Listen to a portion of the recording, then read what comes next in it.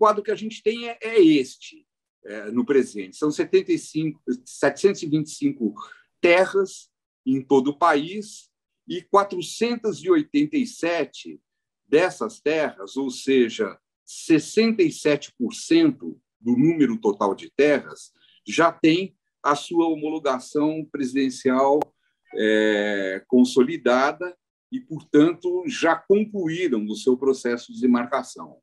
Né? Estão pendentes outras 33% é, das terras, né? num, num, num total é, de 238 casos, é, que, no entanto, não significa dizer que falta ainda fazer um terço, porque deste terço faltante, muitas terras já estão identificadas, já têm os seus limites propostos e apenas não tiveram a sua homologação concluída por estarem é, sob júdice. O que falta fazer em termos de demarcação das terras indígenas é algo perfeitamente alcançável, perfeitamente factível.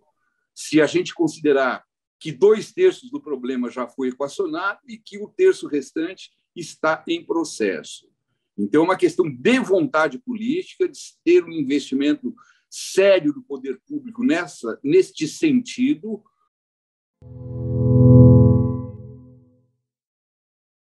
os direitos eh, territoriais indígenas são superiores a direitos patrimoniais. Isso é em qualquer interpretação constitucional, porque são direitos mais, os direitos mais fundamentais ao princípio da dignidade da pessoa humana, né? como existir, ser, ter direitos culturais, ter direitos identitários.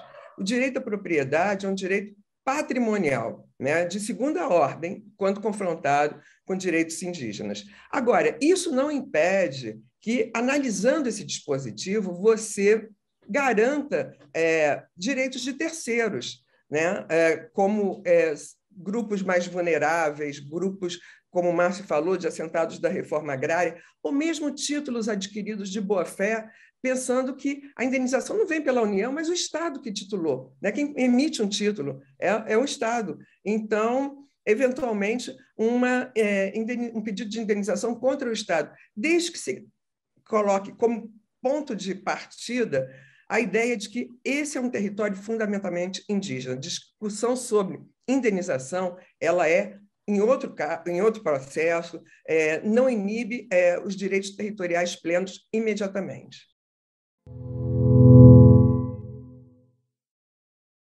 O que nós temos hoje são grandes é, comunidades reivindicando a demarcação propriamente dita tendo em vista que as reservas que foram demarcadas no século passado não correspondem aos seus espaços. E a única terra terrena que nós temos de fato homologado, de acordo com a Constituição, com o decreto 1775, é a terra indígena Limão Verde, que também foi anulada. Né?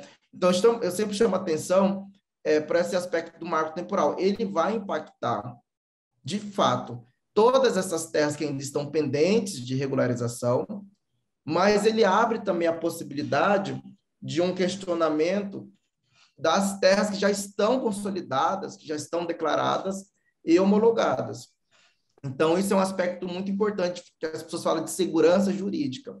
Segurança jurídica para quem? Né? A quem o direito sempre esteve a, a serviço? Com certeza, para trazer segurança jurídica para o mercado, para os políticos, né? para a economia mas na verdade não vai trazer segurança para os povos indígenas, porque ele vai abrir sim a possibilidade de questionamentos judiciais de terras já consolidadas. Esse é um aspecto fundamental que a gente tem que levar também em consideração.